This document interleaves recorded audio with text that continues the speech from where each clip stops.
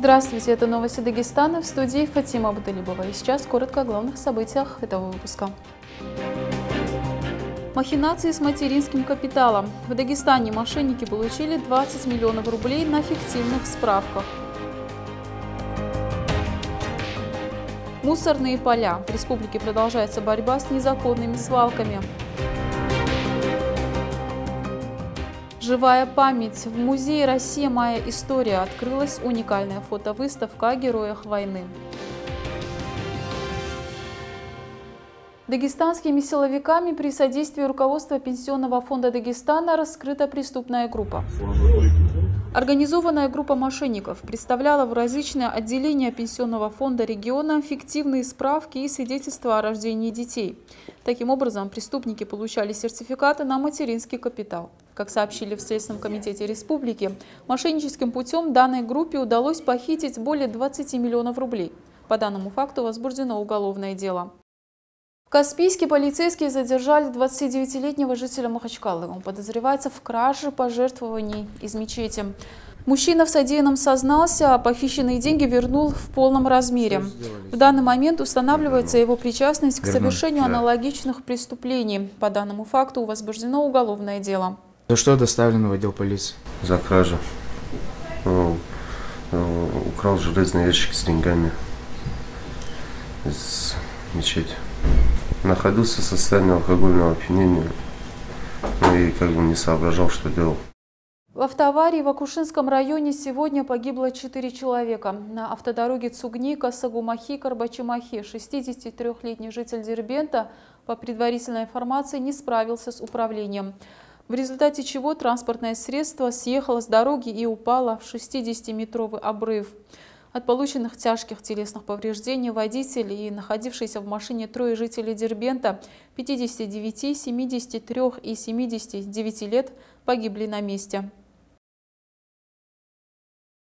Несанкционированная свалка, захламляющая отгонные пастбища, обнаружена в Дербенском районе. Товаропроизводители неоднократно подавали жалобы в правоохранительные органы, но безрезультатно. Россельхознадзор выехал на место для изучения ситуации. Вместе с ними и моя коллега Наталья Хамбабаева. 40 гектаров земли покрыто мусором, а рядом пасутся овцы и коровы. Еще в прошлом году Дербенский суд принял решение запретить вывоз бытовых отходов на территорию близ пастбища, Однако это никак не повлияло на ситуацию. Вот после этого начал не, неоднократных обращений, неоднократных писаний, никаких реакций. Горсе это или ну, экологика ни внимания не отдал. После ураганных ветров, как вы видите, здесь не ограждено ничего. Весь территория вот это сюда, около 600 гектаров земли, которые все находятся вот в таком положении пакетах.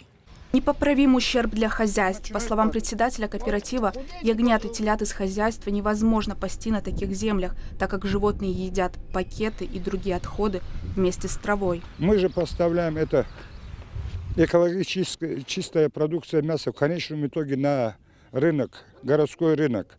Этим питается население.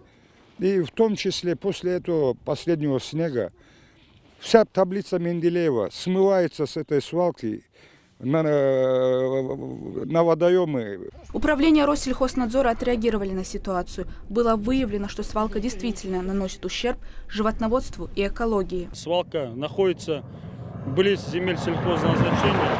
При ветре или других погодных условиях мусор распространяется на данные земельные участки.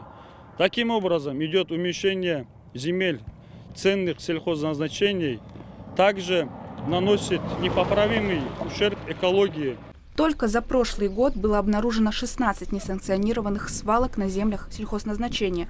Если ситуация не изменится, люди начнут питаться не экологически чистым мясом, а пластиком. Наталья Ханбабаева, Магомед Магомедов, Мурат Бигварзов, телеканал ННТ, Дербенский район. Умупазиль Амарова покинула пост в Рио министра образования и науки Дагестана по собственному желанию. Об этом сообщил Сергей Меликов в ходе заседания Совета при главе Дагестана. Тем временем на данную должность назначен Яхья Бучаев. С 2008 года он был ректором Дагестанского университета народного хозяйства. Бучаев Яхья Гамидович является доктором экономических наук, профессором. Махачкалинские учителя поучаствовали в пробном ЕГЭ. Так, на базе столичной гимназии номер 13 состоялся экзамен по географии. Условия были максимально приближены к процедуре проведения штатного тестирования. По словам специалистов, такие мероприятия позволяют проверить работоспособность компьютерной техники, принтеров, сканеров, систем видеонаблюдения и сводят к минимуму ошибки при проведении настоящего экзамена. Всего порядка 600 специалистов прошли тренировочные мероприятия еще в восьми пунктах Махачкалы. Отметим, что на ЕГЭ в этом году будут соблюдены меры санитарно-эпидемиологической безопасности. В аудиториях проведут дезинфекцию и увеличат их количество. Рассадка сдающих тестирование будет проводиться с учетом социальной дистанции в полтора метра. Говорящие картины о героях. В музее «Россия. Моя история» открылась уникальная фотовыставка. Коллекция картин называется «Живая память». На каждой из них изображен один из героев войны. При помощи смартфона можно прослушать радиоспектакль, рассказывающий историю жизни этого человека. Проект визуализации героев Отечественной войны уже включил в себя 58 портретов. Среди экспонатов не только репродукции картин – с помощью сенсорного экрана также можно узнать больше интересных фактов о военных событиях, о героях войны, а также об оружии и технике, которые использовали солдаты. Наши посетители имеют возможность знакомиться с оружием Победы, которое широко и более подробно представлено в нашем историческом парке, э, узнать о том, как жила наша республика во время Великой Отечественной войны, как дагестанцы – не только героически сражались на а, полях сражений, но также и вносили огромный вклад в победу, а, помогали фронту. На 93-м году ушел из жизни почетный председатель иудейской общины Дагестана Шемиди Бияев. В 1980 году Шеми Мигирович возглавил еврейскую общину Махачкалы, а в 2008 был избран председателем Совета иудейских общин Дагестана. Он сыграл важную роль в сохранении и развитии традиций еврейского народа в городах Буйнакск и Кизляр.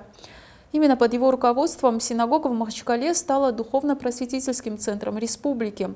В ней возрождена и действует воскресная школа. Его активная жизненная позиция, участие в благотворительных акциях заработали ему авторитет и признание общественности. Махачкалинец Гаджи Амаров завоевал Кубок мира по боевому самбо. Турнир в эти дни проходит в Москве на малой спортивной арене стадиона Лужники. В схватке за золото тяжеловес из столичной школы единоборств имени Ахмедова встречался с призером чемпионата мира из Узбекистана Хакимжоном Исмаиловым. За две минуты до финального свистка Амаров провел результативный прием, что привело его к досрочной победе. Отметим, что третьим призером в этой же категории стал другой дагестанец Паша Хархачаев. Всего в соревнованиях участвует около 300 спортсменов из более чем 20 стран мира. По итогам первого дня сборная России завоевала 6 золотых наград. Команды из Хасавюрта и Казбековского района сыграют в финале Кубка национальной футбольной лиги. Встреча спортшколы имени Умаханова и клуба «Казбек» пройдет завтра на стадионе при Дагестанском государственном аграрном университете. Кубок Дагестана в формате 8 на 8 стартовал в декабре прошлого года. Он шел параллельно с регулярным чемпионатом. В спор за трофей вступали 32 коллектива, выступающие в высшей и первой лиге. Отметим, что «Казбек» – действующий обладатель Кубка и Суперкубка НФЛ – а спортшкола имени Умаханова по итогам 14 туров идет на первой строчке в турнирной таблице. Начало финальной игры в 13 часов. Вход на стадион свободный. Это были все новости на сегодня. Я с вами прощаюсь и желаю вам хороших выходных.